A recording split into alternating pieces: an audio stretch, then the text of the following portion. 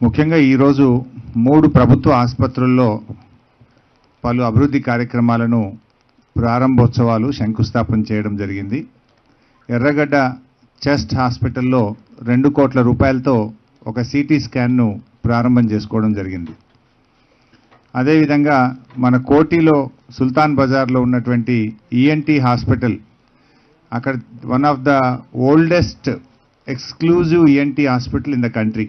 భారతదేశంలోనే అతి పురాతనమైన ఎక్స్క్లూజివ్ చాలా ప్రతిష్టాత్మకమైనటువంటి హాస్పిటల్ మన సుల్తాన్ బజార్ ఈఎన్టీ హాస్పిటల్. అయితే ఇక్కడ మంచి డాక్టర్స్ కూడా ఉన్నారు. మీరందరూ కూడా కరోనా సమయంలో గమనించారు.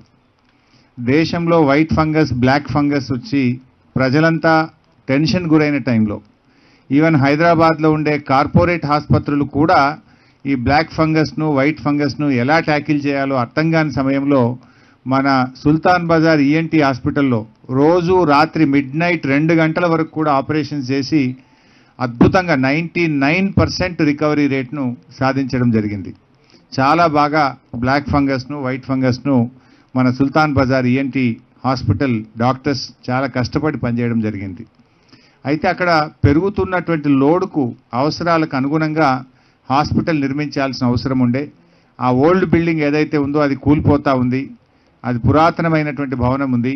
సో అక్కడ థియేటర్స్ లేక కూడా కొంత సర్జరీస్ పోస్ట్పోన్ అవుతున్నాయి సో ఇంకా కొన్ని థియేటర్స్ కూడా అవసరం ఉన్నాయని చెప్పి చాలా రోజుల నుంచి అడిగారు.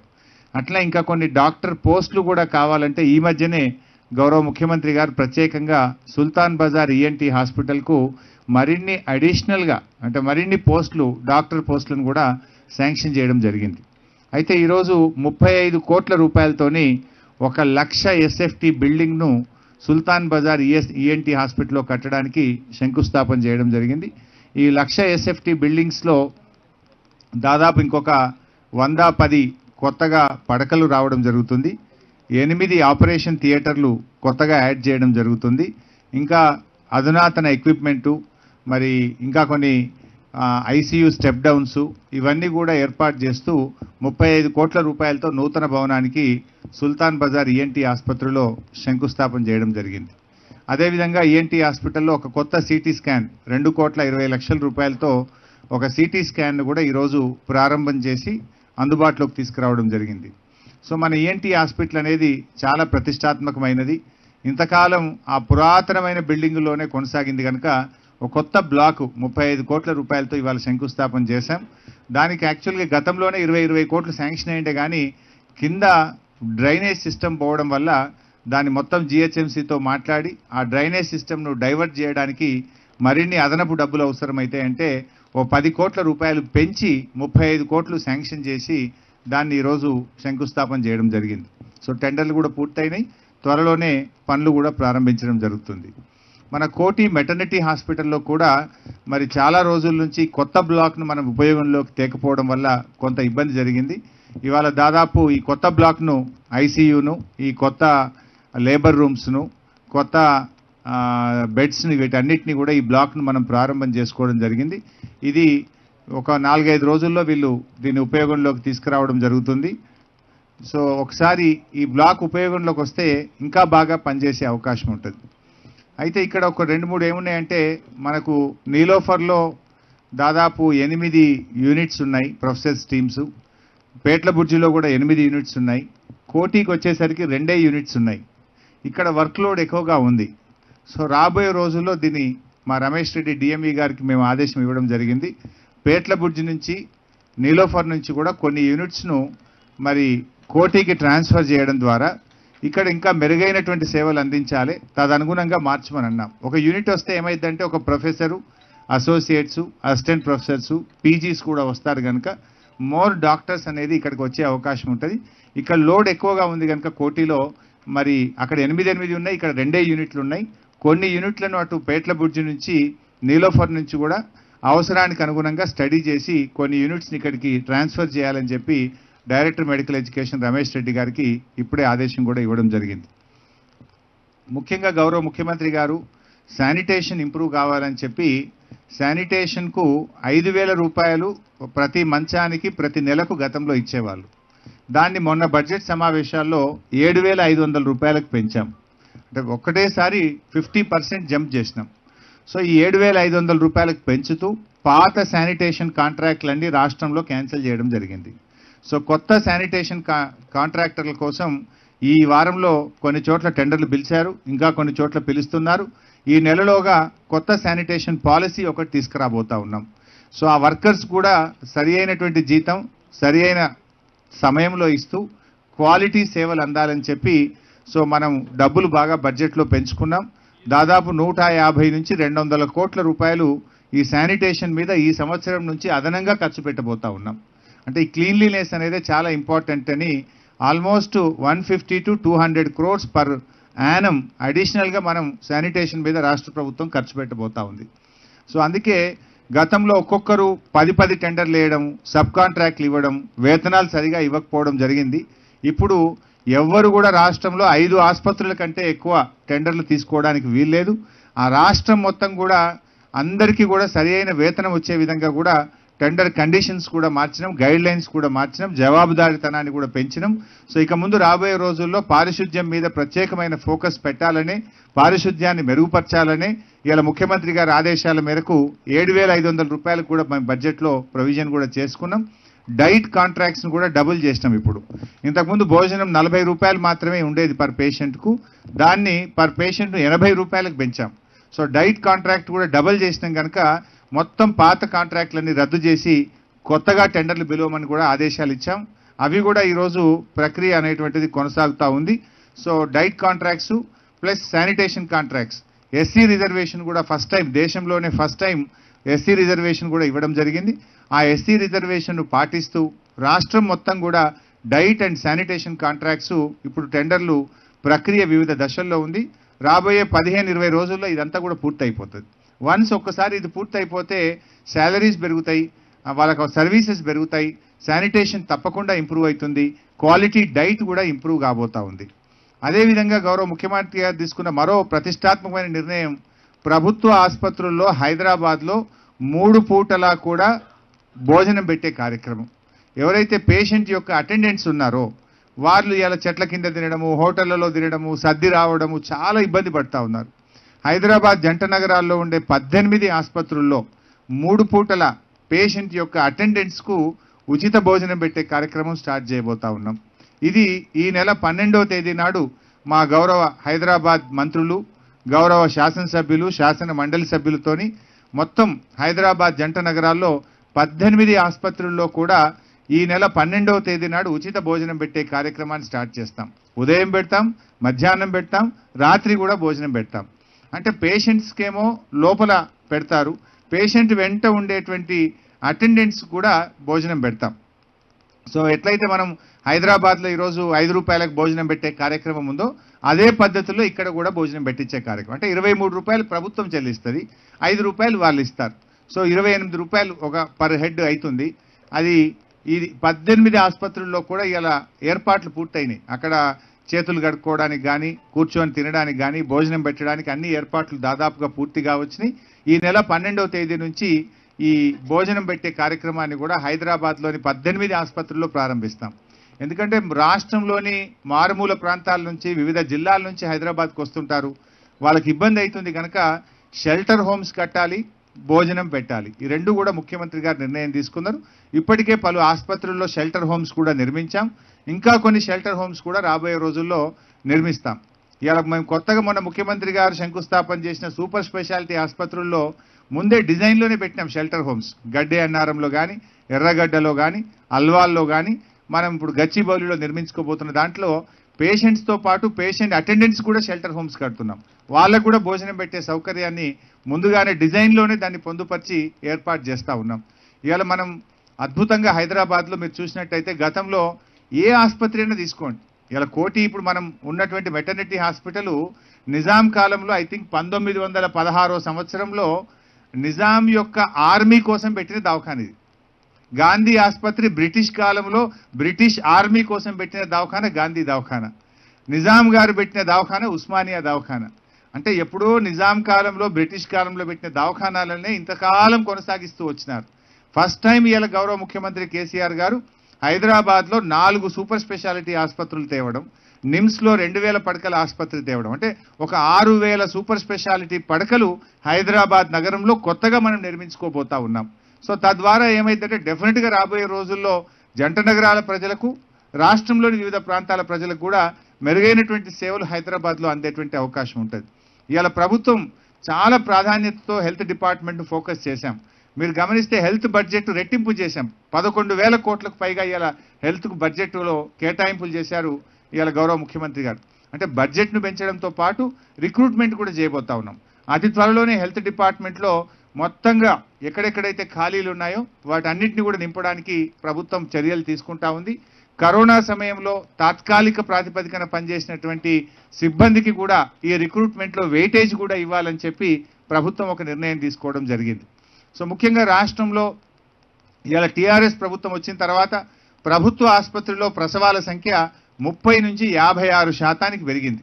అంటే ఇరవై ఆరు శాతం ప్రభుత్వ ఆసుపత్రిలో ప్రసవాల సంఖ్య పెరిగింది. అంటే ఇది ప్రభుత్వ పనితీరుకు నిదర్శనం. కేసీఆర్ కిట్ యొక్క పని దానివల్ల ఇవాళ ఇరవై ఆరు శాతం ప్రభుత్వ ఆసుపత్రుల్లో ప్రసవాలు పెరిగాయి. ఇంకా కూడా పెరగాలని ఇవాళ డీటెయిల్డ్గా మేము మంత్లీ క్యాలెండర్ పెట్టుకున్నాం. హెల్త్ క్యాలెండర్ అనేది ఒకటి రాష్ట్రంలో పెట్టుకొని క్యాలెండర్ ప్రకారంగా రాష్ట్రంలోని ఆశా వర్కర్ నుంచి ఉస్మానియా జనరల్ హాస్పిటల్ వరకు కూడా ప్రతి నెల ప్రోగ్రెస్ను రివ్యూ చేయడం జరుగుతూ ఉంది. ప్రతి నెల ఎక్కడైనా లోపాలు ఉంటే వాటిని సరి చేసుకుంటూ ముందుకు పోయే ప్రయత్నం చేస్తూ ఉన్నాం. సూపరింటెండెంట్స్ కూడా చాలా పవర్స్ ఇచ్చాం. ఇలా ప్రతి హాస్పిటల్లో కూడా డబ్బులు ఉన్నాయి సూపరింటెండెంట్స్ కూడా ఇంతకు ముందులాగా చిన్న చిన్న ఎక్విప్మెంట్ రిపేర్ కోసమో లిఫ్ట్ రిపేర్ కోసమో బాత్రూమ్స్ రిపేర్ కోసమో ప్రభుత్వం వైపు చూడాల్సిన అవసరం లేకుండా సూపరింటెండెంట్స్ ఆథరైజ్ చేస్తూ సూపరింటెండెంట్స్ దగ్గర డబ్బులు పెట్టి వెను వెంటనే వాళ్ళు తగిన చర్యలు తీసుకునే విధంగా కూడా మరి అనేకమైనటువంటి అధికారాలను వికేంద్రీకరణ కూడా చేయడం జరుగుతూ ఉంది. సో వాటిని కూడా రాబోయే రోజుల్లో ఇంకా క్లోజ్గా కూడా మానిటర్ చేస్తాం. సి సెక్షన్ రేట్ కూడా బాగా తగ్గడానికి ప్రయత్నం చేస్తున్నాం. ఎందుకంటే మన రాష్ట్రంలో సి సెక్షన్ రేట్ గతంలో చాలా ఎక్కువగా వచ్చింది.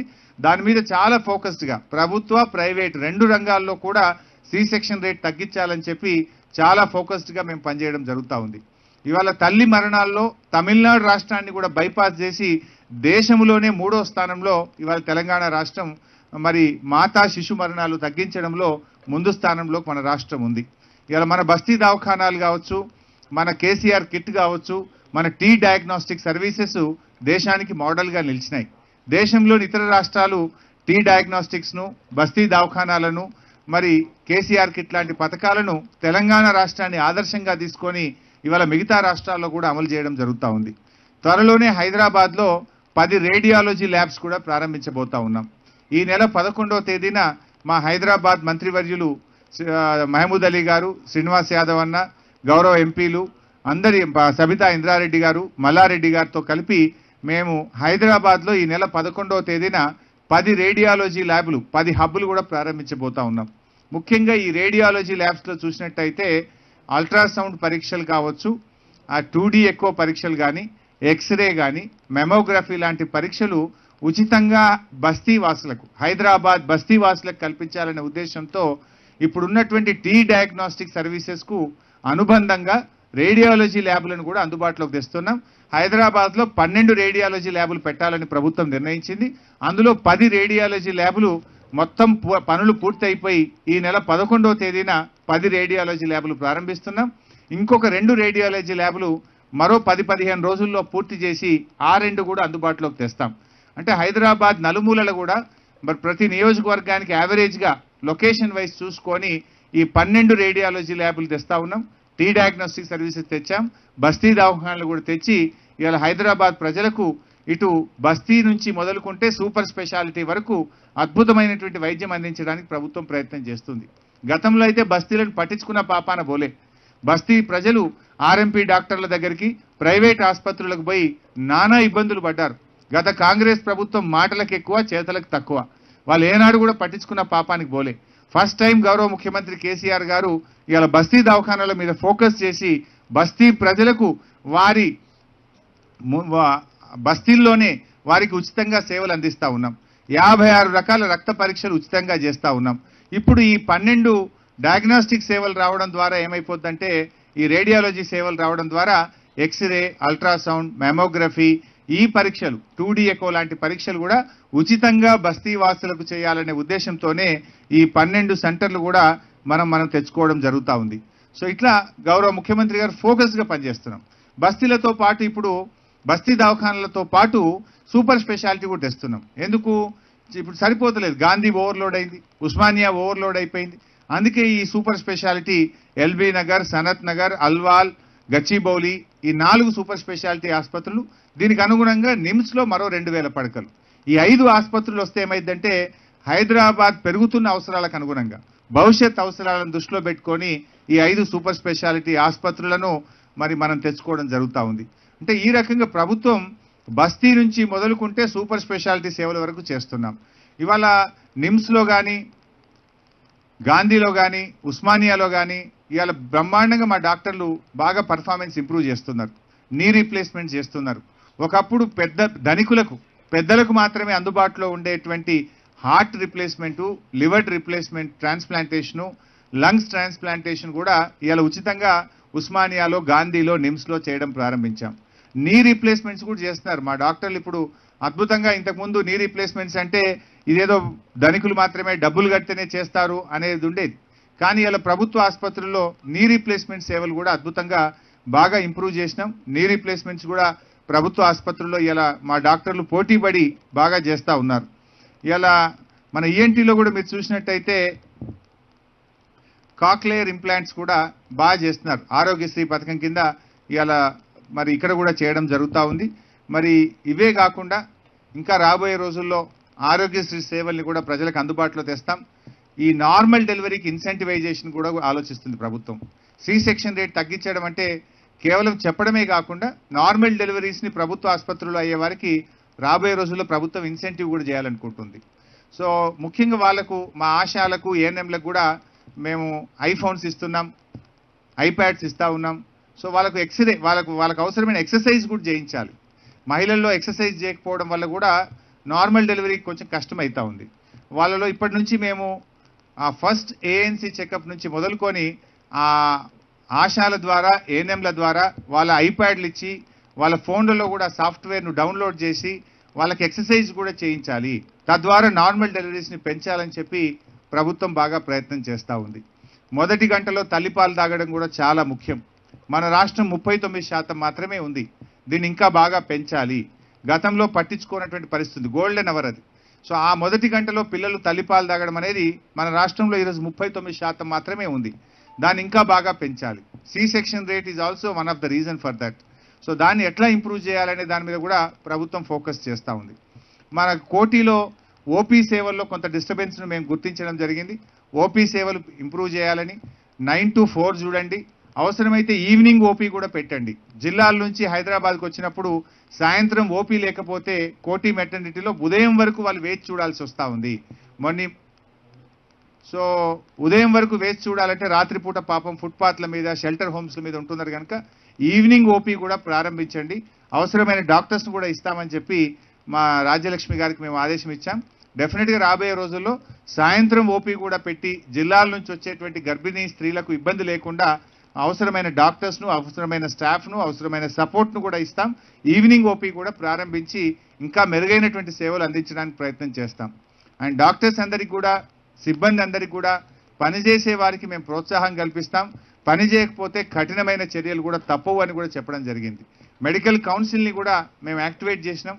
మెడికల్ కౌన్సిల్ని కూడా రీకాన్స్టిట్యూట్ చేసినాం. సో ఎవరన్నా ఉద్దేశపూర్వకంగా ప్రైవేట్ కానీ ప్రభుత్వ రంగంలో కానీ నిర్లక్ష్యాన్ని వహించినా అనవసరమైనటువంటి సర్జరీస్ చేసినా మెడికల్ కౌన్సిల్ కూడా రెఫర్ చేస్తాము. మెడికల్ కౌన్సిల్ రివ్యూ చేసి ఆ డాక్టర్స్ మీద ఆ హాస్పిటల్స్ మీద కూడా యాక్షన్ తీసుకోవడానికి కూడా ప్రభుత్వం వెనకాడదు. జవాబుదారీతనం పెరగాల్సిందే. అవసరం మేరకే అవసరమైనటువంటి మందులే వాడాలి. అవసరమైన సర్జరీసే చేయాలి. అవసరమైనటువంటి పరీక్షలు స్కానింగ్ కానీ ఇతర పరీక్షలు చేయాలి. అనవసరమైనటువంటి అనెథికల్ ప్రాక్టీసెస్ ఎవరైనా చేసినట్టయితే మరి మెడికల్ కౌన్సిల్ చాలా యాక్టివ్గా పనిచేస్తుంది. మెడికల్ కౌన్సిల్కి రెఫర్ చేసి కూడా ప్రభుత్వ రంగంలోనైనా ప్రైవేట్ రంగంలోనైనా ఒకవేళ తప్పు చేసినట్టు ప్రూవ్ అయితే మాత్రం కఠినమైన చర్యలకు కూడా ప్రభుత్వం వెనకాడదు అని చెప్పి కూడా ఈ సందర్భంగా హెచ్చరిస్తున్నాం. కేంద్ర ప్రభుత్వానికి చెప్తున్నాము. వ్యాక్సినేషన్ డబ్బులు ఇచ్చి తీసుకోవడం ఏందండి? ఇలా కేంద్ర మంత్రి గారికి నేను స్వయంగా లేఖ రాసిన. Eighteen to fifty nine years ప్రజలకు బూస్టర్ డోసు ప్రభుత్వమే ఉచితంగా ఇవ్వాలి. మీరు అలో చేయండి అని చెప్పి కేంద్ర ప్రభుత్వాన్ని అడిగినాం. ఇప్పటి వరకు కేంద్ర ప్రభుత్వం నుంచి ఎలాంటి స్పందన లేదు. మళ్ళీ నేను రెండవ లేఖ కూడా రాసి కేంద్ర ప్రభుత్వంతో సంప్రదిస్తాం. నేను డిమాండ్ కూడా చేస్తా ఉన్నా. గతంలో ఇచ్చిన మాదిరిగా బూస్టర్ డోస్ కూడా ఉచితంగా రాష్ట్ర ప్రజలకు దేశ ప్రజలందరికీ ఇవ్వాలని ఐఎమ్ డిమాండింగ్